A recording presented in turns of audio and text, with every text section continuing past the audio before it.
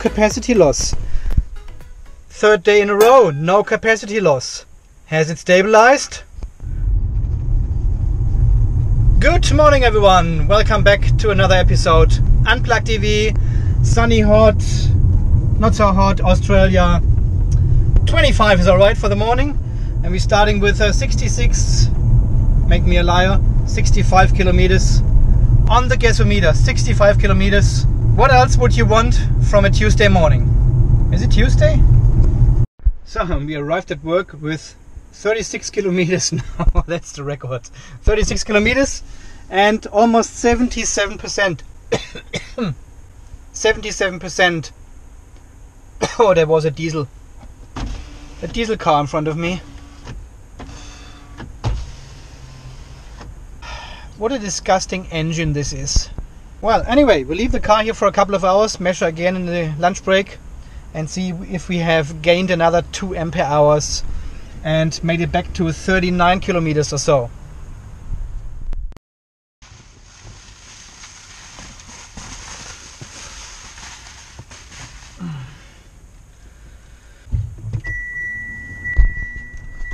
So I say 1.6 ampere hours plus.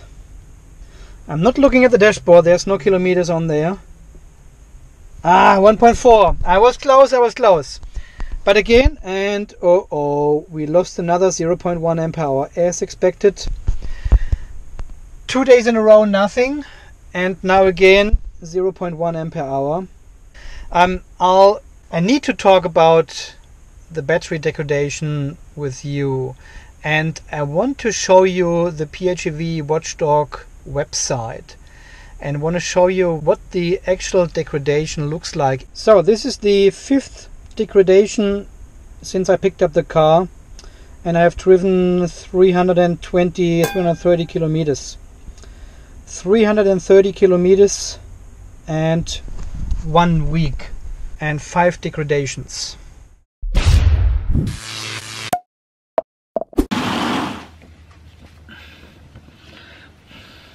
I thought I'm uh, appropriate when I wear a Tesla t-shirt when I talk about battery degradation. No, actually, it's a little bit cold outside, so 25. okay guys, I would like to show you something on the interweb. On the phevwatchdog.net website, you can log in as a demo user or if you have donated to Daniel, please do so.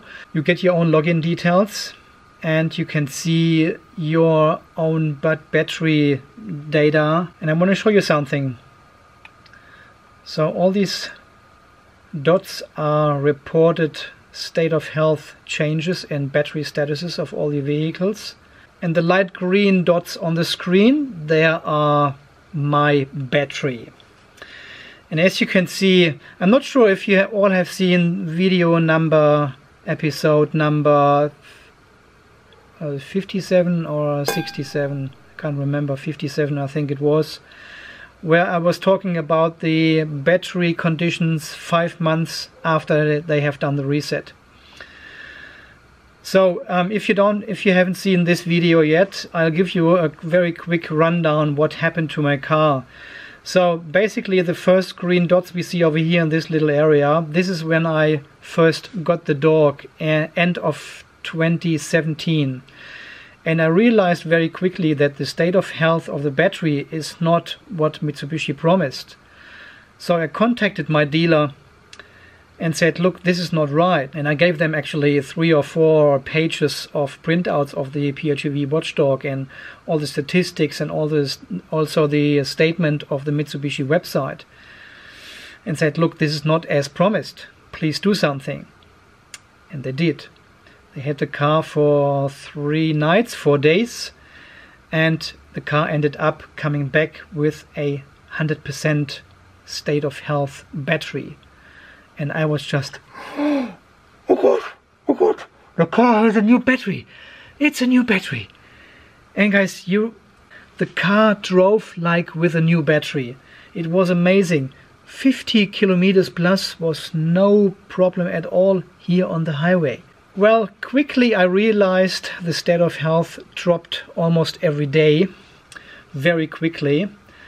until two weeks ago, until we reached the bottom of this line at 26.8 ampere hours, which was 70 point, mm, 70.1% or something state of health.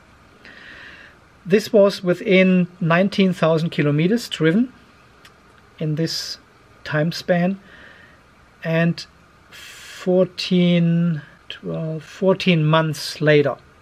So 14 months, 19,000 kilometers, the battery was down to 70% state of health from 100. Remember, it was still the old battery. They just did a reset on the battery management system and the software thought it is a new battery, I start from 100%. Okay, so, and of course we got in contact with Mitsubishi Australia here, and you know the whole story of the last probably 50 videos or something. And we got the agreement or the commitment now from Mitsubishi to replace the battery under warranty under a goodwill statement. It's not quite the same, but we don't want to talk about this tonight.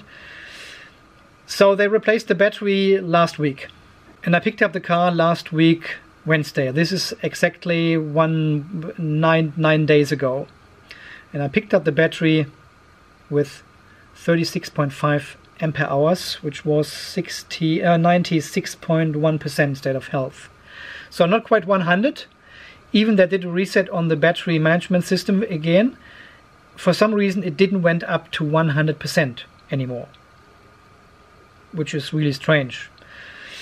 Anyway, nine days later, I am down to 36 ampere hours. So I lost already half an ampere hour in five steps. And I would like to zoom in a little bit in this area here and show you these two patterns. I can't zoom in more. So on the left hand side, this is the pattern the battery management system went after the reset, still with the same battery as before. And this is the same pattern with a new battery after a reset. So as you can see, the, the fall, the decline of state of health is almost the same. So nothing in the car has changed apart from the battery itself. I'll leave this with you for a moment.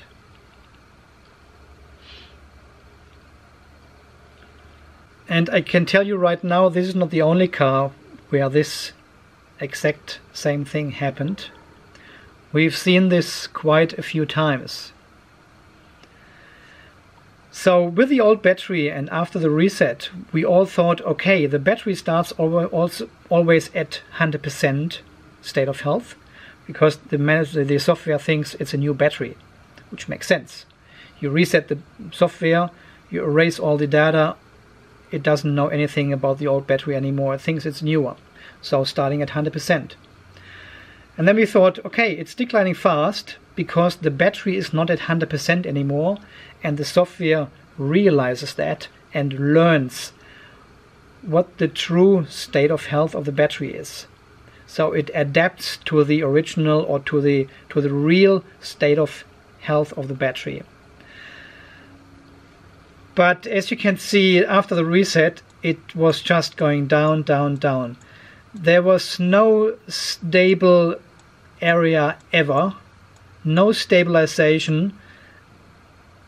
Probably at the end a little bit, it, it flattens a little bit out, but you can see these big jumps, these big gaps. This is half an ampere hour lost all the time. So it never never stabilized to any certain point. It just went down, down, down on a fairly constant decline. And my guess is now it will do the same with a new battery.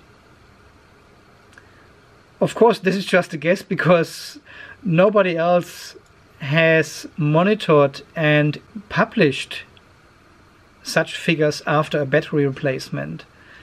So I will keep a close view on this battery and I will of course publish all this information on my YouTube channel here what is going on with the battery and with the software But from what I can see here, this is clearly not a hardware problem. This looks very much like software because the hardware has changed. We've got a brand new battery and even now the, the software starts at 96% instead of 100. So why is that? Why is it not starting at 100 if the battery is new? So this can only mean two things. Firstly, the battery they put in my car is not new and the software declines because the state of health of the battery is not at 96% but far further down already. Or secondly, it is a pure software problem and there was nothing wrong with the old battery they have just replaced last week. And this is probably what I think because I have seen this pattern on other cars as well. So I mentioned I mentioned this before in one of my videos recently. I personally think the battery they have replaced in my car was still probably at around 90% state of health. But the software is not capable of determine the true state of charge and state of health of this battery at all. As we can see, a brand new battery, it does exactly the same pattern. So, why would it do this if the battery is new? Okay guys, I leave this with you for a while, but I wanted to um, but I want to show you something else on this website which is frightening and which actually supports my theory that this is all software related. If we go all the way to the left of this graph, and all the way up we can see this darker group of dots here, darker green than all the other greens. They are a little bit uh, brighter and these are the darker ones. All this group here is from brand new 2019 models. This is the upgraded version with a higher capacity battery and the 2.4 liter Atkinson cycle engine. And as you can see from here, the battery should have, I think, 44 ampere hours when new. And some of these cars have that. For example, this one here has 38 kilometers on the odometer, 38 kilometers driven, and is on 44.1 ampere hour. This is the 100% state of health of a brand new 2019 model. We don't know which dots belong to which cars, but look at the decline of all these dots in there. These are brand new cars, and we all hoped they will fix this whole software problem with the new cars. But from what I can see here on this screen, it doesn't look like to me they have fixed anything. And we can also see one of these darker green dots down here already. And have a look at this. 3,920 kilometers and 38 ampere hours already down. 6 ampere hours down after less than 4,000 kilometers. And nobody can tell me that this is the battery. This is hardware related. 4,000 kilometers is pretty much nothing. You cannot abuse the battery in any form in this short amount of time to reduce the, the true state of charge of the hardware, of the battery, to, to 38 ampere hours. That is just physically not possible even if you if you would run the battery from real 0% to real 100% and would overcharge it and would cook it in 50 degrees hot weather you would not have this degradation in this battery after this short amount of driving. So i think all these green darker dots in this area here they support my theory that this is not hardware related. We are not talking about the state of health state of charge of the battery. We are talking about a big software issue these cars have. But as you know, this is just my my opinion. This is just what I observe on the website, what I observe with my car, and what I observe on other cars. What data people are publishing on the internet. And if you read through all these comments and and statements and experiences in forums, I think it's the software. Never in, in any other car, not in a Leaf, not in an e-Golf, not in a Tesla, anyway not, you've got such a, a strong, such a deep decline of state of health over such a short period of time. This is less than 20,000 kilometers and the battery went down from 100 or the software showed us from 100 down to 70 that's 30% loss. This should happen after 180,000 kilometers but not within 19,000 kilometers. This is just not possible. I think this is wrong and I think it's software related.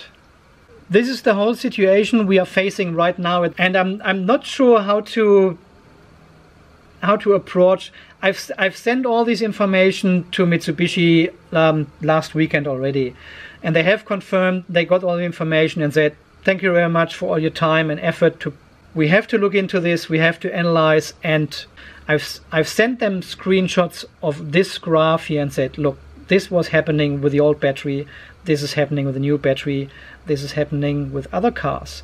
They're all following the same thing.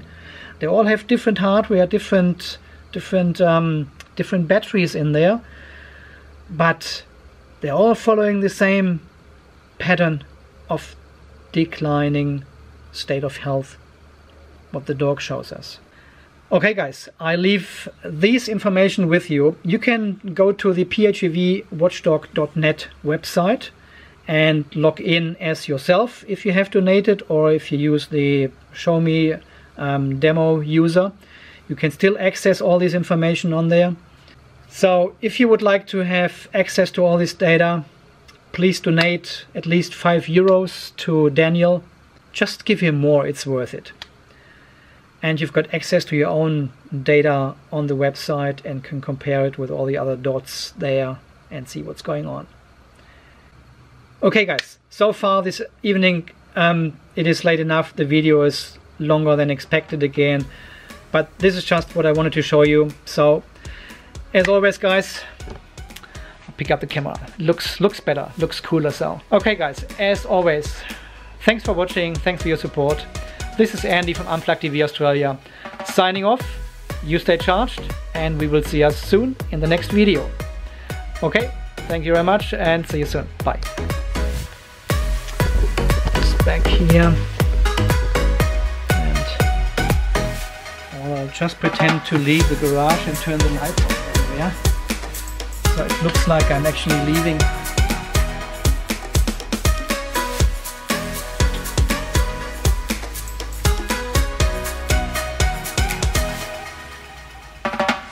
There you go. Now now everyone is everyone thought I'm leaving actually now but I'm not.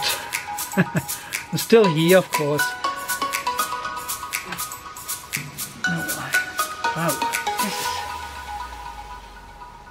This, this is just for the extra.